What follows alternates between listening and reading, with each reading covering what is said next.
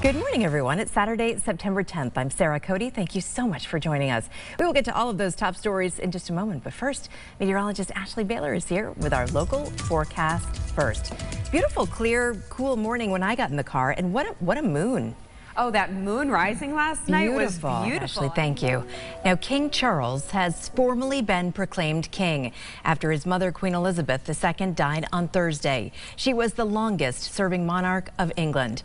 And right now, we are taking a live look in London as King Charles has officially been named the next heir during the Accession Council. And we're learning that President Biden is expected to attend the Queen's funeral. Here's ABC's Faith Abubey with the latest.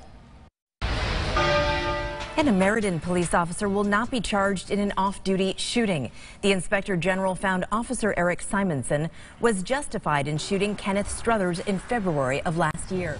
Welcome back, everyone. Fair and festival season is in full swing, and there are a bunch of big events happening all across the state this weekend. Here are eight things to do.